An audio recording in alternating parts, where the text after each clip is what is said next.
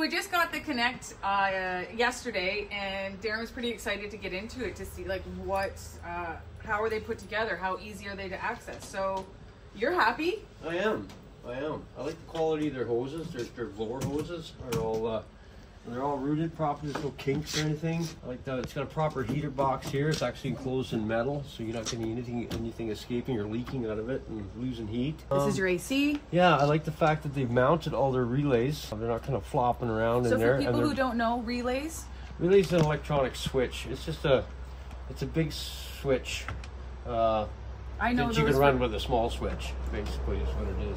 because that helps. but everything is, is right there. Your But it's your- accessible. That's what you like about it. yeah, and they're right beside your fuse box, so everything that you know, all your checks if something goes wrong are pretty much right there. Okay. You don't have to go hunting for things. The hood. How did you get it off? Was it Uh, these two it was screws? pretty good. Yeah, it's just uh, it just snaps in and two screws, and that So was the undo other thing I these two screws, and yeah, then that's it. Okay. That was the other thing I liked about this was you didn't have to pull the windshield wiper to get the hood off. yeah.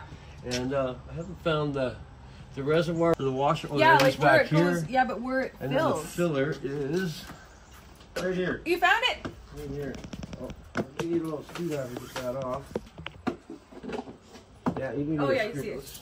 And this goes straight, and it's not kinked either. So filling that wouldn't be a problem. So far, so good. And then um, the suspension. I haven't looked underneath yet. The brakes look the same. Brakes are four disc. It's independent. I can see that. Anyways, that'll be the next video. But here's a, you know first impression under the hood, and it's going well. And this also has, when you lock this up, this also has lock steering. We haven't uh, looked in the back yet for access to uh, controllers or anything like that, or limiters or all that. But, uh, So I far, like so the- good. I also like the way the doors fit. Yeah. Yeah, they're well sealed. Yeah, we'll see. Okay. More to come.